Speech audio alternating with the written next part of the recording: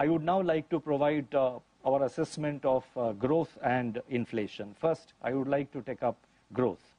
Available data for Q3 and Q4 of the current financial year, that is 22-23, indicate that economic activity in India remains resilient. Urban consumption demand has been firming up, driven by sustained recovery in discretionary spending, especially on services such as travel, tourism, and hospitality. Passenger vehicle sales and domestic air passenger traffic posted robust year-on-year growth. Domestic air passenger traffic crossed pre-pandemic levels for the first time in December 2022. Rural demand continues to show signs of improvement as tractor sales and two-wheeler sales expanded in December. Several high-frequency indicators also point towards strengthening of activity. I have listed out some of the high-frequency uh, indicators which uh, show improvement and strengthening of activity in the footnote of my statement. As you know, the statement will be uploaded in the RBI website. So if you are interested, you may like to have a look at it.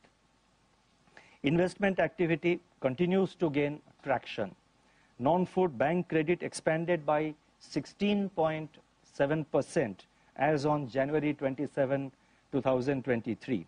The total flow of resources to the commercial sector has increased by rupees 20.8 lakh crore during 22-23 so far as against 12.5 lakh crore rupees a year ago. Indicators of fixed investment, that is cement output, steel consumption, and production and import of capital goods registered robust growth in November and December. In several sectors such as cement, steel, mining and chemicals, there are signs that additional capacity is being created in the private sector. According to the RBI survey, seasonally adjusted capacity utilization increased to 74.5% in Q2 22-23. The drag from the net external demand, on the other hand, continued as, a, as merchandise exports contracted in Q3 22-23. On the supply side, agricultural activity remains strong with good rabi sowing, higher reservoir levels, good soil moisture, favorable winter temperature, and comfortable availability of fertilizers. PMI manufacturing and PMI services remained in expansion at 55.4 and 57.2 respectively in January 23. Turning to the outlook, the expected higher Rabi output has improved the prospects of agriculture and rural demand. The sustained rebound in contact, contact intensive sectors should support urban consumption. Broad-based credit growth, improved capacity utilization, government's thrust on capital expenditure and infrastructure in the union budget recently presented should support uh,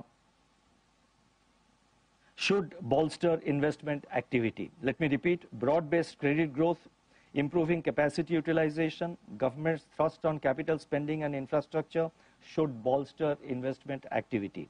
According to our surveys, manufacturing, manufacturing, services and infrastructure sector firms are optimistic about the business outlook. On the other hand, protracted geopolitical tensions, tightening global financial conditions, and slowing external demand may continue as downside risks to domestic output. Taking all these factors into consideration, the real GDP growth for 2023-24 is projected at 6.4%. I repeat, the real GDP growth for 2023-24, that's for the next financial year, is projected at 6.4%, with Q1 at 7.8%, Q2 at 6.2%, Q3 at 6%, and Q4 at 5.8%. The risks are evenly balanced.